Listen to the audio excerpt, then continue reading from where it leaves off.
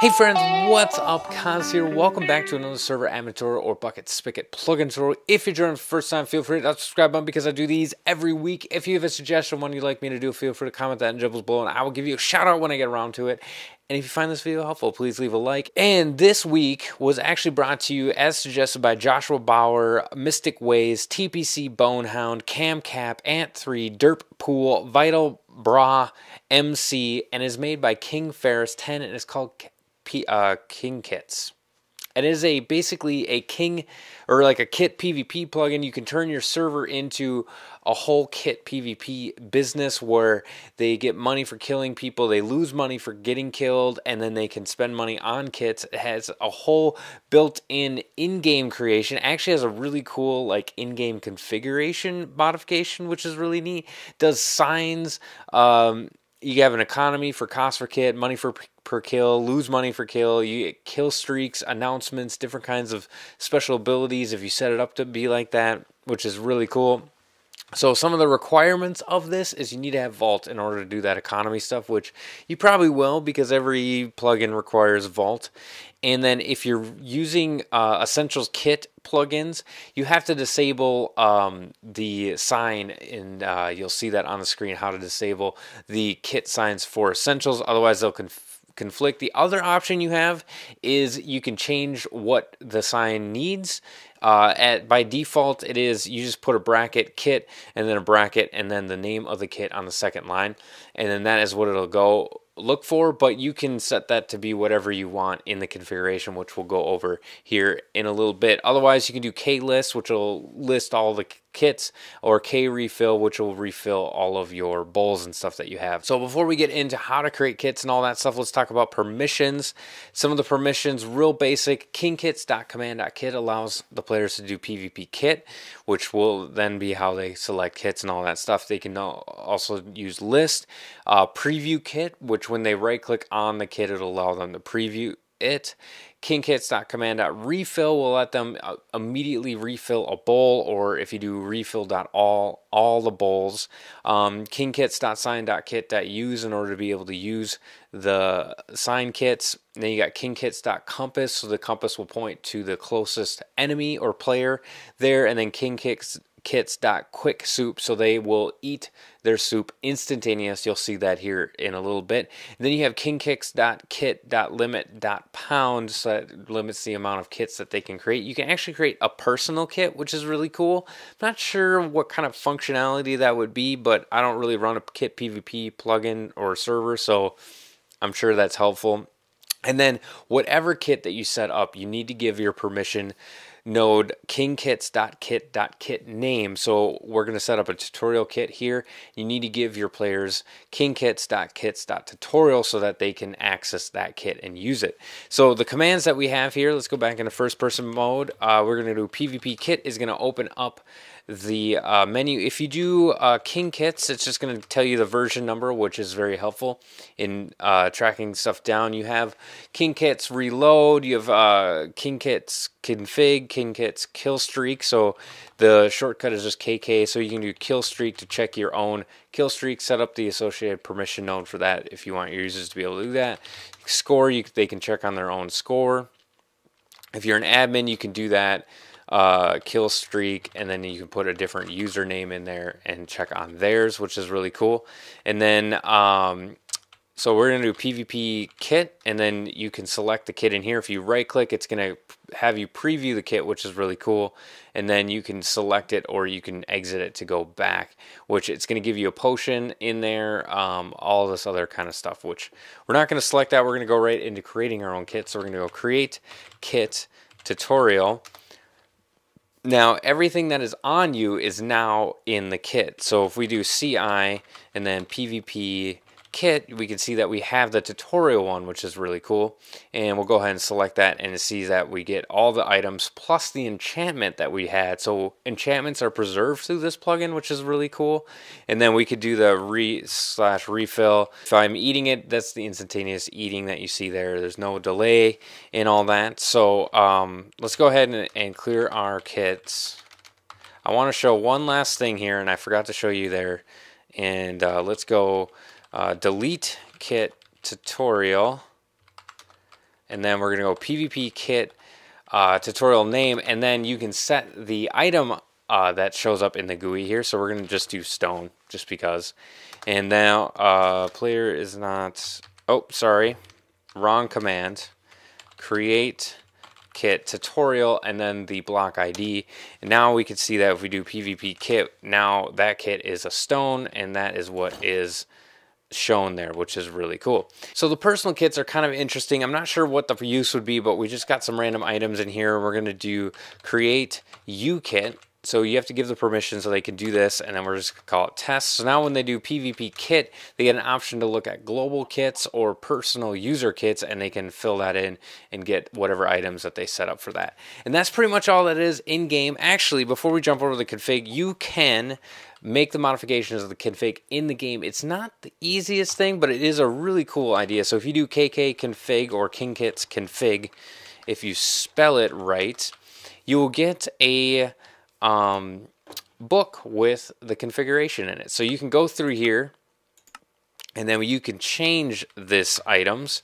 So maybe we're going to change the um, this to 7. Now, if you want to change this on multiple lines, you need to delete the all the previous lines. It doesn't let you just go around and edit these, which is kind of a bummer. That's why I say that this might not be the best thing to do. But you uh, make the changes that you want to whatever spot in the config file, which we'll see in a moment, and then you sign it and just call it config or whatever you want. Sign and close. And now you have your signed book, and you just do KK config again and now it has saved those items to your configuration. We go KK config, and now uh, when we look in here, you can see that that per, that changes there and you'll see that here in the configuration here in a moment. All right, so here we are in our server. We are running 1.9 on the latest version. I did have to re-update my 1.9 in order for this to work. The author is actively updating the plugin, which is really neat. Um, so be sure to update that. Check my tutorial on how to update your 1.9 and you're going to go into your plugins folder you're going to drop king kits in there and now you can see we have vault there as well. It's uh, not outdated but it's an older version.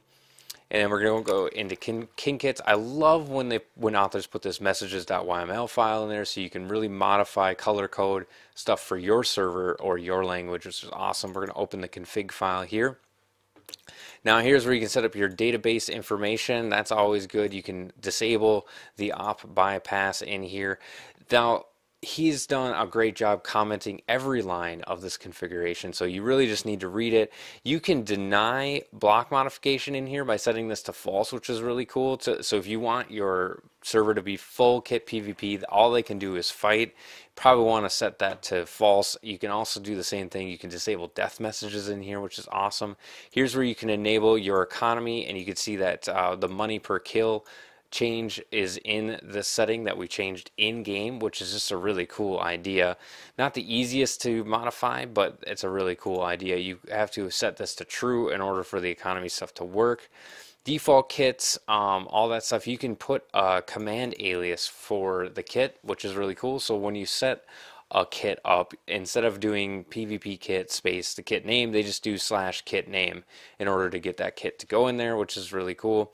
Default value of commands of a new kit, so maybe you want them to get some sort of special enchantment token or something like that, they can drop the command when they get that kit. So if you want them to get money for the kit, which is really cool, so you can really kind of modify this and make it kind of like a daily uh, donor kit, and then they get uh, money for that, which is really neat. You do a global cooldown, global cost, global kill streak command. So after they get 5, 10, 15 kills, a certain stuff happens on the back end.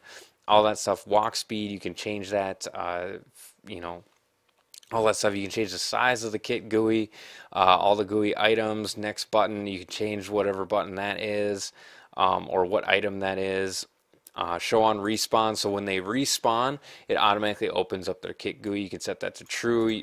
Show on join, you can set that to true, which is really cool. So as soon as they join the server, boom, they have to select the kit and then they get right into all that stuff, which is really cool. Uh, you can change the score, how that shows up. Um, you can put on auto spawning. You can remove kit on death. It's super complicated well not complicated but super simple but a lot of stuff that you can really kind of tweak to your own server. I love it. The author's done a great job of making this super simple. Here's where you can change the name of the kit so maybe you want to or the, the sign. So if you want to change this to be something else so it doesn't conflict conflict with essentials or another plugin that you're running you change that in here and uh, you could disable P- PvP in all worlds or in certain worlds. This is, means it's enabled for all worlds. So the worlds in this list is the PvP uh, worlds. Kit list mode, GUI, fancy text. Probably just leave it GUI. That's just really cool. I love it when that happens. One kit per life. You can have it so they can't get multiple kits per life. And then you can disable certain commands in here real cool. You, the authors allowed you to modify a lot of stuff about this plugin. Now here's where you kind of get into really uh, tweaking each kit to be whatever you need it to be. Um, you can set up your description in here. This is where you set the command alias. Actually, let's open up the default kit because he has uh, descriptors in here, or comments is what they're called. So this is where he talks about what the command alias is. Description, you can see that it's just next lines. You can put a cost in here. You can put a cooldown in seconds in here. Max health. Um, so if you want them to have more health when they have the kit, they can put that in there. Um, you can make their walk speed faster. You can do breakable items. This is the broadcast. So when they pick that kit, that's what uh, gets sent out. You have a whole list of variables here, so you can do player is the player name, name is like their nickname or the name of the kit, cost, cooldown, and max health, all that stuff. So we got broadcast player is on a rampage, all that stuff. So you can even like, give them money if they get on a kill streak. It runs eco player give whatever in there or eco give player amount. That's what that's what the command would be if you're using essentials. GUI position, all that stuff, pretty self-explanatory. Um, different, all the slots in here for that, all the armor, um, potion effects. You can change all of that stuff. You can make that to be, you could create your own kit in the game and then go into the configuration file and just make it even better, which is really cool. I love that this this plugin has everything that you need. You can you can do enchanted items really simply. You can even have it run other commands really simply, so they get other token enchantments or money or whatever it is. Super cool. Let's jump back over to the game and wrap it all up. Okay, so like I said, this is probably one of my favorite uh, kit plugins I've seen out there. It's the most comprehensive, allowing you to do in-game commands or commands for other plugins as well, so it really can tie in with anything that you have. You can also do enchanted items really simply. All that stuff, really cool. I hope that you found this video helpful and uh, this really helps you get started. Really, it's up to you guys after this to really make it. The, the tools are there that you guys can really make an awesome Kit PvP server. So shout out to KingFaris for making a great plugin. This is Koz reminding you guys all, enjoy the game. God bless.